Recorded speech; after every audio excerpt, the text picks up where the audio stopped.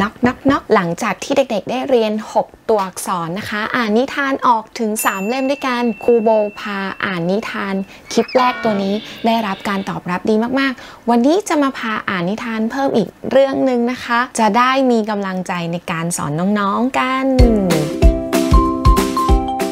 ก่อนจะไปชมคลิปคุณพ่อคุณแม่อย่าลืมแอดไลน์แอดมาที่แอด inkbrain นะคะ เพื่อรับบัตรคำ1,200 คำพร้อมความหมายภาษาไทย เป็นคำศัพท์ phonics ทั้งนั้นที่จะช่วยให้เด็กไทยอ่านออกเขียนได้กันนะคะ มาพูดถึงนิทานกลุ่มหนึ่งของในระบบจอลลี่ หลังจากที่เด็กๆ ได้เรียนกลุ่มเสียงกลุ่มแรกนะคะ at it อืมคราวที่แล้วพาอ่านเรื่อง ants ไป รอบนี้จะมาอ่านเรื่อง tips tips who is tips มาฟังกันเลยค่ะ look at this tail the tail's name is tips tips tips แต่เดี๋ยวก่อนใครที่ตั้งใจดูคลิปนี้นะคะ ท้ายคลิปจะมีวิธีสอนเด็กๆ เขียนสอบ dictation ด้วยตัวอักษรเพียง 6 เสียง เด็กๆสามารถเขียนประโยคยาวๆ ได้ถึง 10 ประโยคด้วยกัน ครูโบจะมีเทคนิคอะไรนั้น ชมนิทานกันก่อน แล้วเดี๋ยวไปดูตัวอย่างประโยคที่จะสอบ dictation กันนะคะ I think tips is something is it the girl name or the dog's name Let's check it out Tips เป็นชื่อของอะไรนะ ของเด็กผู้หญิงคนนี้หรือเจ้าน้องหมา ไปชมกันค่ะ Ah look at the first page you guys can see that this is the main character of this tale his name is Tips Tips Finally we know that is a dog a black dog and the next page they will show you more characters the first one I think he is daddy his name is Stan, Pat, Pat. I think she is his daughter, Pat, Pat. And the baby, her name is Pip, Pip.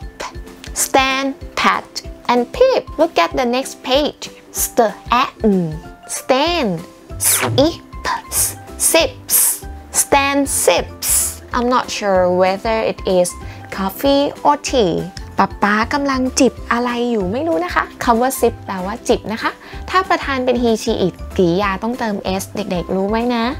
daddy sips per at pat no apps naps pat naps pat naps ในขณะที่แดดดีเนี่ยกำลังจิบน้ำอยู่นะคะ ลูกสาวที่ชื่อแพทเนี่ยก็กำลังงีบหลับอยู่ pat naps coffee and the next page why they are doing some activities the other one I mean the baby maybe she's not baby she has grown enough น่าจะโตแล้วนะคะ น้องพิบของเรา ลูกคนเล็ก pip pip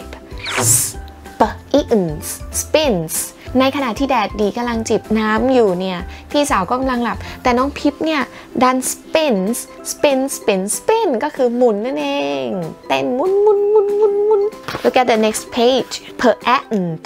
pant per ant pant pant ก็แปลว่าหอบนะคะเจ้าหมาตัวนี้กำลังหอบเพราะว่ากำลังขุดคุยและทำกิจกรรมบางอย่างอยู่ What is it doing Let's check it out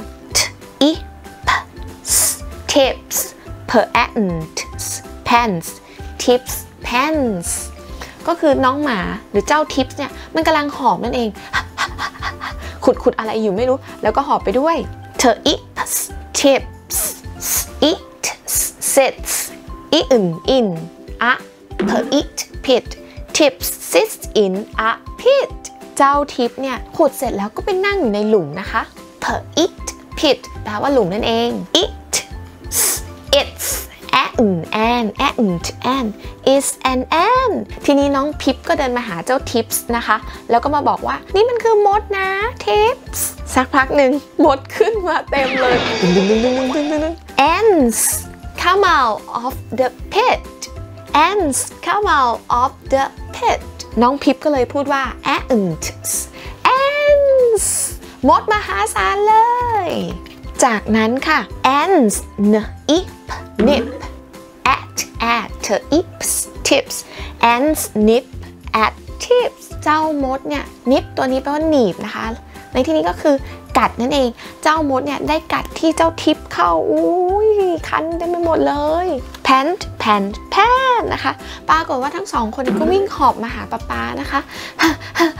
pant pant pant and finally Stan pats pats Stan pats tips ก็แปลว่าคุณพ่อสแตนเนี่ย ก็ได้มาตบเบาๆนะคะแพทตัวนี้แปลว่าตบเบาๆ ที่หลังเจ้าทิปส์นะ ตบแล้วก็พูดว่า ไม่เป็นไรนะ it's okay that's fine I will take them out เดี๋ยวพ่อจะเอามดออกจากเจ้าเอง เจ้าทิปส์เป็นอย่างไรบ้างคะ เด็กเล็กๆวัย3-5 ขวบ ถ้าเขาอ่านนิทานได้หนึ่งเล่มเนี่ยเขาคงจะภูมิใจในตัวเองมากๆเลยใช่ไหมคะ คุณพ่อคุณแม่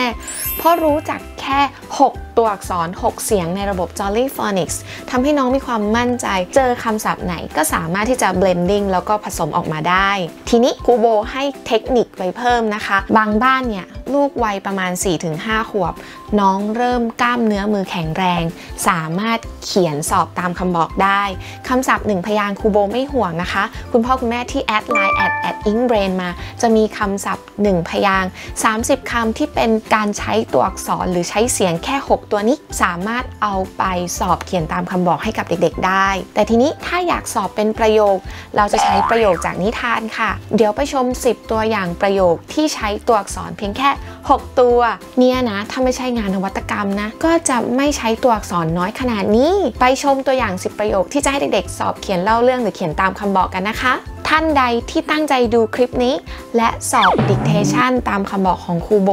เดี๋ยวครูโบมีเฉลยให้ท้ายคลิป แล้วพิมพ์คำตอบมาที่ใต้คอมเมนต์นี้ อย่าลืมว่าต้องซื่อสัตย์นะ พิมพ์คำตอบ 10 ประโยคมาที่ใต้คอมเมนต์นี้นะคะ แล้วเดี๋ยวเราจะไปชมเฉลยกัน The first sentence ประโยคแรกก็มาจากนิทานเล่มนี้แล้วกันนะคะ เรื่อง ants นะคะ ให้เด็กๆเขียนว่า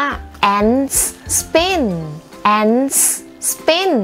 เวลาสอบเขียนตามคำบอกเนี่ยคุณพ่อคุณแม่ไม่ต้องให้เขาดูโพยนะคะ ให้เขาพยายามสะกดด้วยตัวเอง และอย่าลืม full stop ไว้ท้ายประโยคด้วยนะคะ The second sentence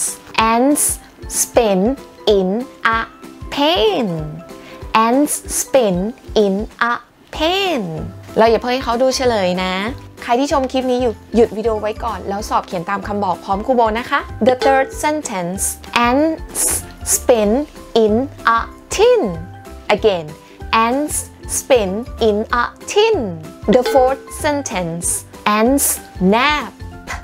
Ants nap.